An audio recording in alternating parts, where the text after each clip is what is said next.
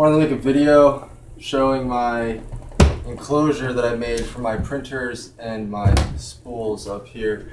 Uh, I guess while I'm at it, I'll also show my overall makerspace slash living room, which, as you can see, is literally half of my living room.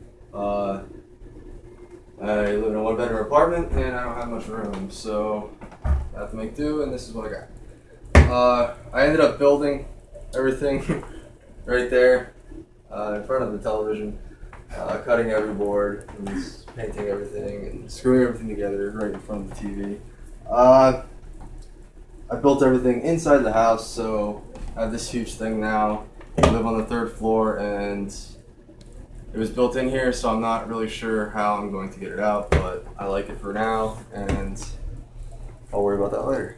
Uh, originally, I built these three tables uh, to have more surface space to do things on. Uh, I wasn't using up all the surface space, so I decided that I would dedicate this table to becoming an enclosure for my printers. Uh, the reason why I wanted to do that, a few things. Uh, I wanted to be able to control the humidity and temperature, the, the overall climate inside of where my printers are and where my filament is. Uh, mostly because, one, PLA uh, with high percents of humidity it degrades or just doesn't agree with, with high humidity, which wasn't really a problem where I live, uh, but it's nice to be able to control it. The main reason why I did it was because of ABS, which when it prints, uh, prints microparticles of cancer, and I didn't want to get that cancer uh, or catch it or breathe it.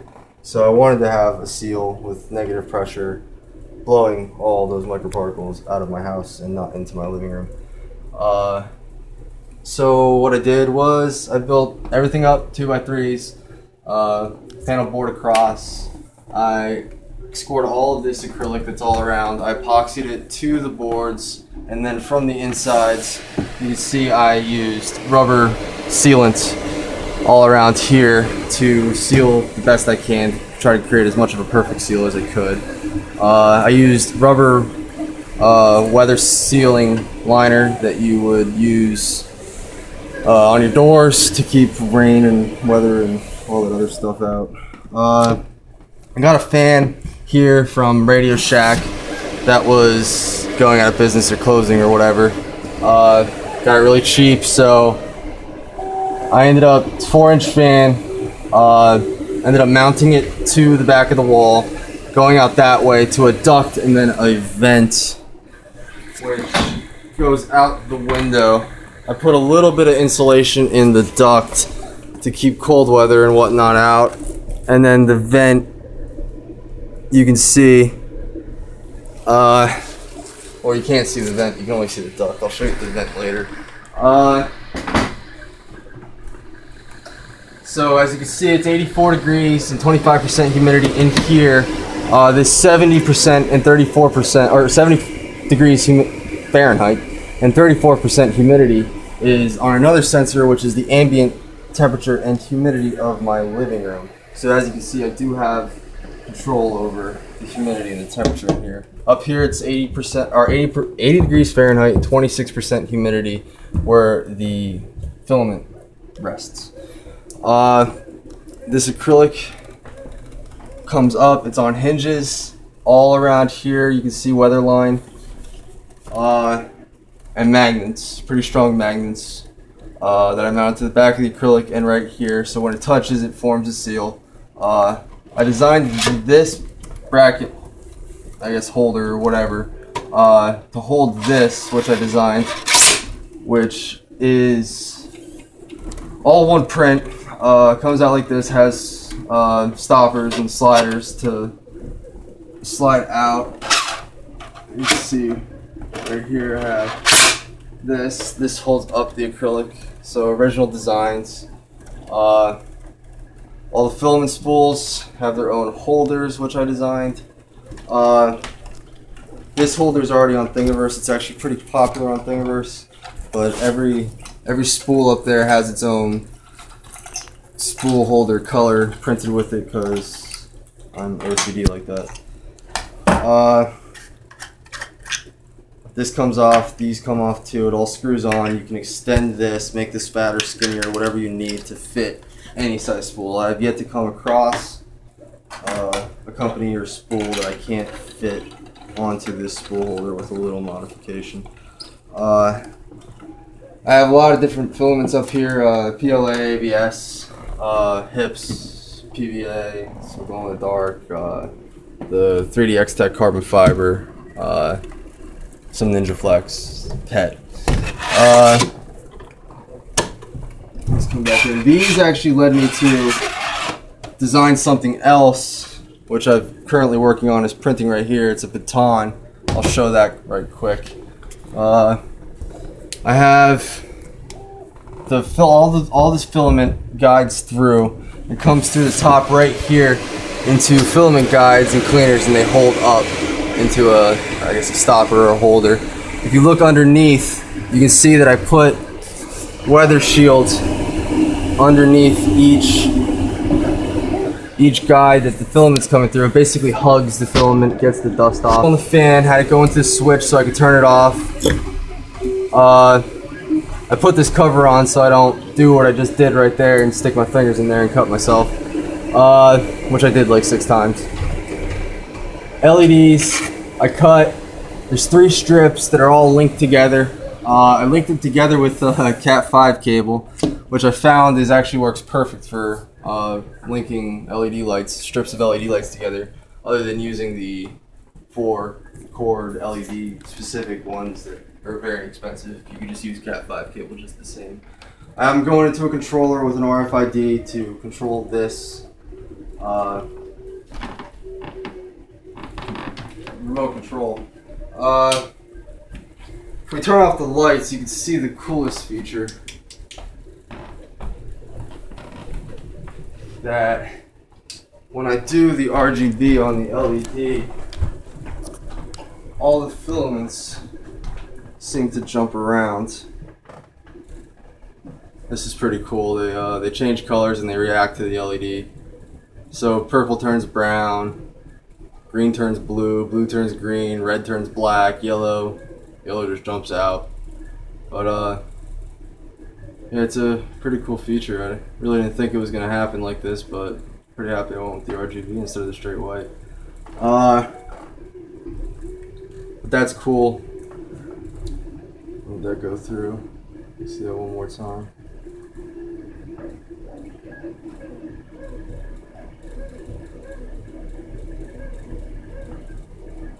Alright, so turn these lights back on. Like I said, with the with the fan, I don't know if I explained this, but the fan's going out, negative pressure, so I do have some sort of a vacuum in here.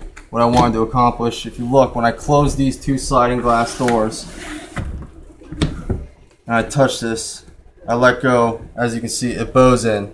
So I did indeed form some kind of a vacuum in here. I have the heater and a couple dehumidifiers to control. Uh, I designed a custom tool shelf for the tools that I wanted to keep in here that I work on the printers and scrape things off. Another shelf over here. Uh, if you look with the baton? This is a baton that I designed based off of this concept. Made it stronger. Uh, as you can see, baton on with good infill. Pretty strong. I have another one printing here. Uh, it prints in one print, as you can see right here. And right there, and then this, which is threaded. And then another free running screw which goes in the back, spins, layers these out, and then this spins to lock this middle piece in so this doesn't come out. Uh, this one's broken due to me prototyping, uh, but this one's still good. Uh, and this one's printing. Uh, I went with the, this is the first weapon, I've never designed a weapon with my 3D printer before, but got carried away after designing the baton I designed these uh, plastic knuckles. Uh, got a little carried away. They look devastating. Uh,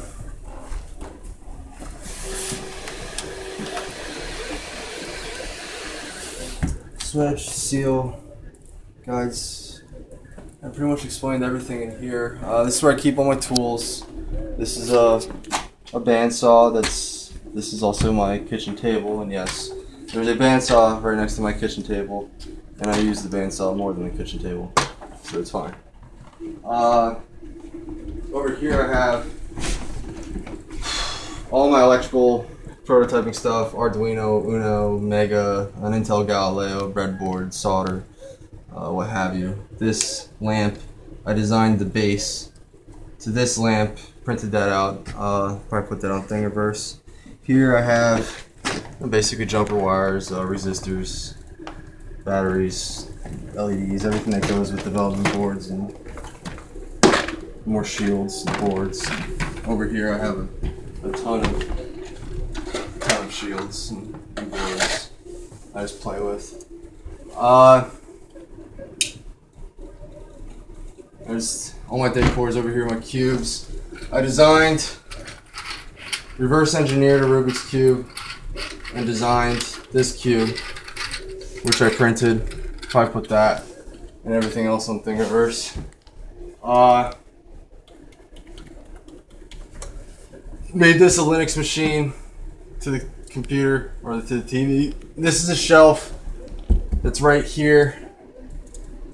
Uh, this is my custom tool thing. Printed this out. Stop. That's over there. This is the vent that you couldn't see on the other side. As you see, the air goes through and comes out the bottom so rain and weather and whatever doesn't get in. Uh, bar holders up there. This is the extenders. This is the baton. This is the spool holder. And this is a bag carrier shopping buddy thing that I have printing right here. Uh, but here's a final prototype. These are already on Thingiverse. Uh, but they hold bags. Pretty ergonomical in your hands. Nice fillets and chamfers. Uh, holds up a lot of weight. Really come useful when you're carrying a lot of bags or anything heavy. Uh, everything that I just showed you, all the designs and whatnot, I'm going to put up on Thingiverse and kind of like an outline of how to build this enclosure. Uh, over here, I have some of my more decor. I have a server. my girlfriend and I built. It was mainly her idea. She wanted to build a server with nothing to serve for no reason, and we did build it and it has all new components and it's brand new, expensive, and it doesn't serve anything, but it works. Uh, what else? Showed the lights. Showed enclosure. Anything else that I missed? My living room. My fine art. I've, I'm, I'm a collector of fine art and frames. Uh, yeah. And then that's about it. Thanks for watching my video.